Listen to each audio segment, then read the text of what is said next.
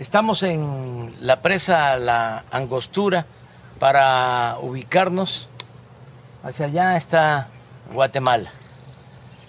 Y eh, viene este río, el río Grijalba. Y aquí es la primera presa, la Angostura, con su planta eh, hidroeléctrica se llama Belisario Domínguez.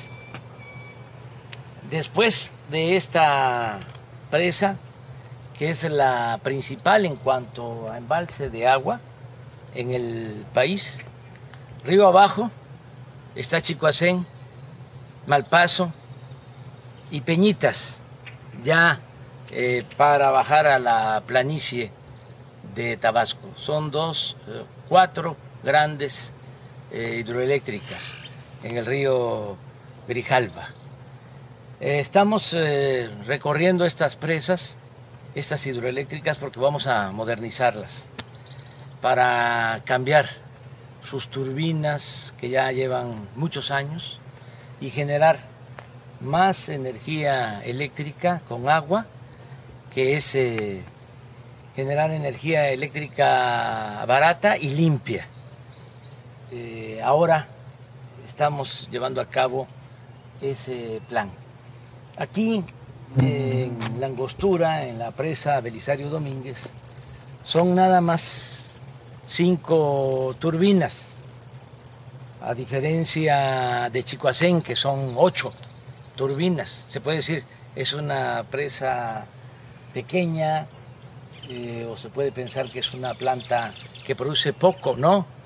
Produce bastante energía, pero lo más importante es este embalse, que es el más grande del país.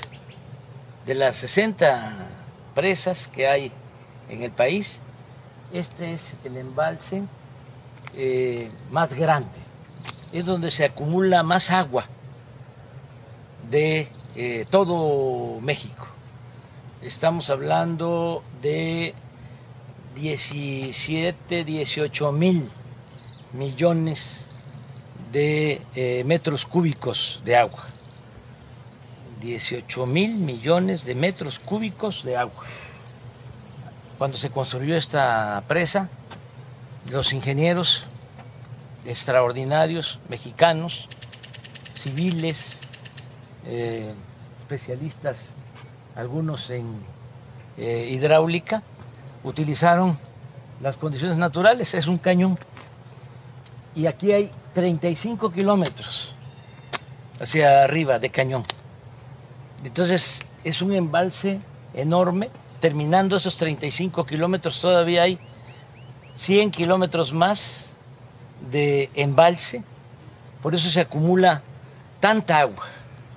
¿Cuánta agua? Imaginemos un tinaco de mil litros.